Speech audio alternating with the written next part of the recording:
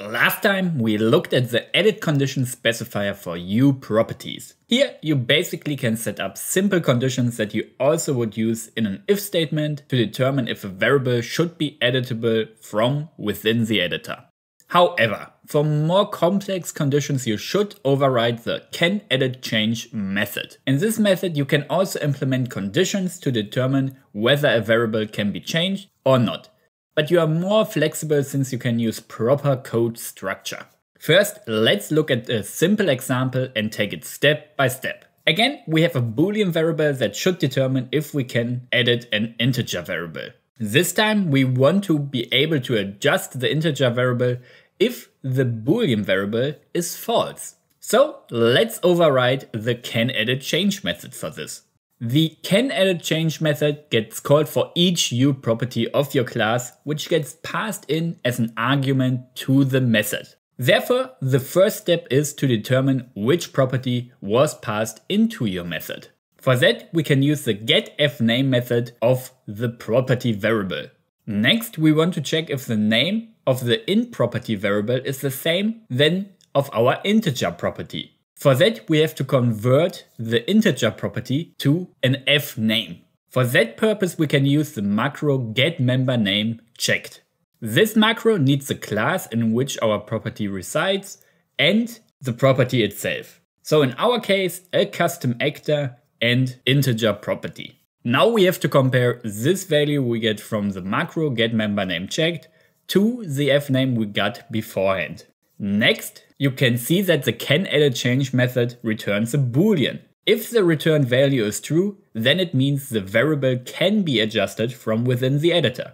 If it false, then it cannot be adjusted. Since we said we want to be able to adjust it when our boolean variable is false, we have to return not boolean toggle. This condition is true if the boolean toggle variable is false. And then we already have set up the condition for our integer variable. Obviously, we still have to return a value for our other properties. Since we have overridden the method, it makes sense to return the value of the parent function call. Since there might be a chance that the conditions for other properties are implemented already in there. However, if you want to implement further conditions on your own for other properties, then you can place them before the call of the super function and proceed like we did for our example. So basically first check if the current property is the target property and then provide the condition. For our example, as you can see, if we tick our boolean property, we cannot edit our integer variable, but if we disable the boolean property, we are again able to adjust the value of our integer variable. However, this was a pretty simple condition and could easily be implemented with the edit condition specifier. So let's say instead of the boolean variable, we have a TArray that stores integers and now we say if the sum of the values inside the array is greater than 10, we can adjust the integer property. Compared to our previous condition, you can see that this condition is way more complex than just returning the value of a boolean.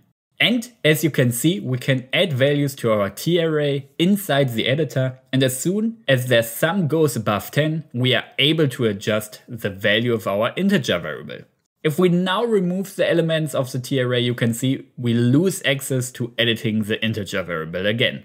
So overall, you should remember that more complex conditions for editing variables should be placed in the canEditChange method. First, you have to check if the current property that gets passed into the method is your target property for which you want to provide the condition.